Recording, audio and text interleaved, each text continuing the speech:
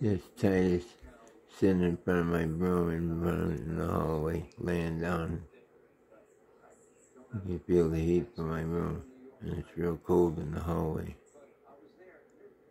You see he's happy just watching me. I got my own little private bedroom here. He likes to come inside and he goes inside my closet door. Right inside here, right inside this little hole, he goes back in here and he goes behind the door and he hides and sleeps back here.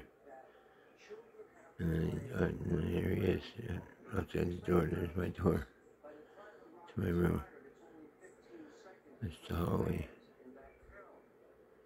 Yeah, yeah, he's such a good boy. He comes and sleeps on my bed all the time too. And his nose is always stuck out, the little pink nose. And white, little white, white paws, him four white paws and his pink nose. Yeah, that's Titus. Yeah, that's big boy Titus.